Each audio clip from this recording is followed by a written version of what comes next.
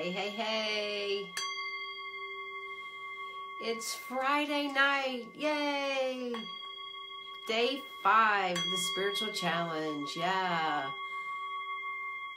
So I know probably everybody's out Friday night, but for me, I know Friday nights are a good time to kind of catch up with myself from the work week. So I wanted to make sure that we added this in as part of our spiritual challenge. It doesn't always have to be in our meditation room on the, you know, meditating, zoning out. It doesn't always have to be there, as we discovered with our workday ritual as well. So, how's everybody doing? How are you doing tonight? How are you doing on the spiritual challenge? Is it hard to keep up every day? Let me know. Post in the group. Let me know how the experience has been for you. I've been enjoying all the sacred spaces. I think they're really great. Hey, Brett, how you been? Haven't seen you in a long time. Thanks for popping in. We're on day five of the spiritual challenge. Each day we've been adding and building our practice. And yeah, I wanted to show that even some days when things can just get away from you, the day can get away from you, that you can still pull it together. You can do a nighttime ritual to really help you feel well. So I am actually, yes, I'm actually in the bathroom and I have these great lights and I can control the color. It makes me feel really good. So they're actually a little bit of that magenta color. Maybe it looks purple there's a little blue a little magenta. I have two lights and they sync up. So it's really nice. And so on our email tonight, we talked about it, so many different moods that you can create in the bathtub with salts and blends and oils. And actually learned a lot from um, Acharya Shunya. She was on my podcast a couple of times and she offered so many tips and ideas and how even in Ayurveda, the bath time ritual is really an important part.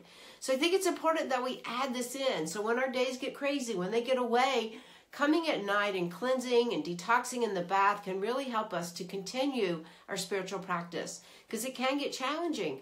But I also know it can get challenging. And if we don't have that practice to constantly come back to, we can get really far off track. So I just wanted to have a little fun tonight and offer a few tips, and then we'll take a few moments to breathe it in. So I have the beautiful magenta light, I've got candles, I've got my rose quartzes here. Rose quartzes are really good. You can put them in the bath actually, or you can put them around you.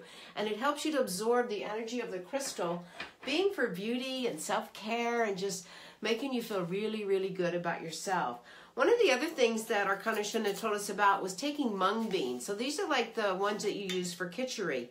And you just grind them up and then you use them as a scrub and it smells so fresh and it's so good for your skin. They don't really go down the drain, so you have to clean out the bathtub, but it is so worth it. Or not, you can always do scrubs. I have a little rose scrub. I have a little rose theme going on, rose oils. And then your bath salt. So I take the bath salts and I put essential oils in, throw them in the bath. Salt water is good for detoxing. Now, one of the things that Ayurvedic teaches also is to take your oils. I made a little blend, shea butter, almond oil, cocoa butter, mm, some really good oils, and put it on before you get in the bath. And this helps, the hot water helps it to absorb better into your skin. Most of us think of putting it on after, but try putting it on before, and it really, really helps to absorb the energy, absorb the oils into your skin. And then the thing that you want to do, scrub away. I got my little gloves, right? Dress up for the bath, right? Have some little sexy gloves on. Scrub the skin really well and then just relax. It's been a rough week, right? We all have things to do. We're all really busy. Hey, Heather, good to see you. But when we do that, we get into the water.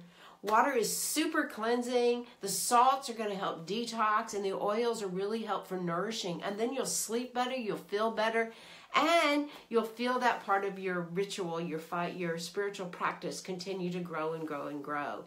Now, I know it can be challenging to do it every day. I've also been on a challenge with my Akashic Records group. We've been meeting three times a day at specific times for 30 minutes. So, yeah, it is a commitment sometimes.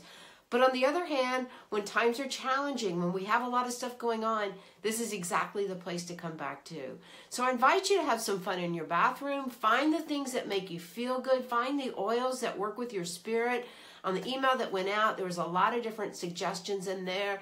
And then just best of all, be creative and take your time. Get in the bath, breathe, put on some little music. I love my candles going, right, along with the lights. And these lights are great. They're, they're LIFX lights, and I can change them to whites, to brights, or to all these various colors. So in the morning, lift up the spirit, lift up the vibration, and evening, chill Yeah. So definitely let me know what you do for your nighttime ritual, all right? And how this can add into your daily habits and how that has been for you. How's the work one for you? How's your sacred spaces been? That's been fun to see everybody really bringing in their sacred spaces. I love it. In fact, it's inspired me. Big old cleanse going on, just pulling everything out and cleansing it out. It's kind of like moving it out the door so I can reset these spaces. It's been so inspiring to see everybody else's as well. So I know things get challenging, and I know right now we're right in the midst of that retrograde. And I know a lot of people are feeling like, oh, I've had it. Don't give up. Return to your practices over and over. You'll uncover what's going on. You'll uncover the ability to move it out and to grow, right? We're all going through an up level right now. We all are going through an up level. Hey, Adrian. So raise up the energy. Do things that are going to help you to do that. And again, for me, I love this room. I love it. I love it. I love it. It feels so good to come in here at night, put a hot bath on, change the colors, shift your mood, use the great smelling stuff, find the ones that really work for you. And we do the same thing. We want to go ahead and do the same thing. We want to use our sage. Already got your candle lit. Clear the space out, right? Set up the space for you. Put on some nice music. Take a nice deep inhale and exhale out. Exhale the week away or the day away, wherever you are. You can do this several times a week. It's a good way to continue your practice and also to go to bed feeling really, really refreshed. All right, let me know what it is you do. Let me know if you have a sacred space in your bathroom. Why not? We spend a lot of time in here. Why not make it refreshing, cleansing, and healing? That's an important part of having a spiritual practice. All right, now this is day five. I hope you guys have enjoyed this. Check out the email again. Don't give up just because it's over, right? Keep on, keep on. Definitely. I'll be checking in with everybody. And also, too, one of the things that you may have noticed these last few days as you're working with your spirit, you really may have noticed that you are taking on excess energy, that you are taking on things from other people, that it's not just your energy that you're cleansing down the bath, right? How many of you guys have noticed that? As you clean up your space, how many times do you notice that other people are a little bit more toxic around you? So that's important for us to get a grip on too. So I actually wanted to invite you to come to the webinar I'm doing on empaths. Maybe this is of interest to you. All right. Empath Sunday, uh, Monday, Monday night, 7 p.m. I'm going to be doing a Facebook Live on six different types of empaths. All right, and this is probably something that you could really appreciate understanding. I'll be going over it and how, when we know this, we can really help to learn even more about ourselves and include that in our spiritual practice as well. So I'll send some information about that. Let me know below if you're interested. Also, let me know again how your sacred space in your bathrooms are. You're a shower person, right? We all know I'm a shower person, shower tapping, but I also love my baths.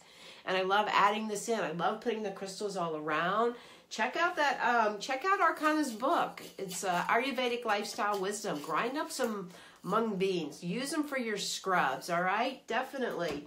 Good, Brett. Check it out. I'll post below the information. All right. Use your scrubs. Use your salts. Let me see some fun pictures and check out these lights. I think at, at Office Depot they have some that you could do Wi-Fi too. I think they're starting to become a little bit more popular. Check that out. Not Office Depot, Home Depot. All right, but these ones are LFX, LIFX, and you can use them all over your house, however you want. They hook up to the Wi-Fi. So every day I'm changing the color. Every day I'm feeling empowered and feeling good about the end of the day, right? And then you sleep well. So, yep, I am definitely jumping in the tub tonight. I'm excited to get in there and just like kind of take those deep breaths while I'm in the bathtub. And I hope you'll do the same. Let me know how you've enjoyed the spiritual challenge. Let me know what's going on for you if you're able to build the practice, all right? We'll have a posting of who won the prizes. I'll be posting that as soon as I do the tallies, all right? I've had a lot of people private message me as well, things that have been going on. I'm excited to hear for that. And I'll also post about the empath, the webinar coming up. All right, so keep it on, keep up. I'll be on the Energy Focus Sunday night, so let me know if you slacked off in one day. I'm sure I'll be following up, but let me know how you're doing with these. And again, I really appreciated the group. I really appreciated y'all showing up and really taking to heart. I've had so many people comment about how inspiring it was to jump back into practice. We need it, guys. We're going through lots of shifts. Things are moving fast, so we have to slow down and help it along. Come into this practice, really important. that we take this out into everyday life as well, right? Like we did through the challenge. So let's just review. Create a sacred space, many, more than one. Use your breath.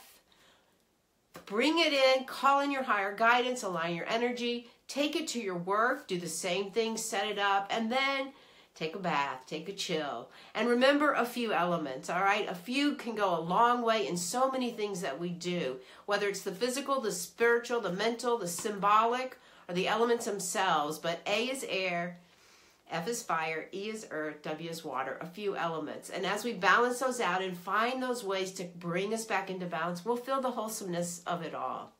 So take that with you. Yes, keep showing up in the group. Keep letting me know what's going on and I appreciate it again. So definitely I'm taking a bath tonight as soon as we get off with my rose oils, my bath salts, and my mung bean scrub. Yes, it'll be nice and yummy. Thank y'all. Have a great night. Refresh, renew, recharge. Don't neglect your spirit.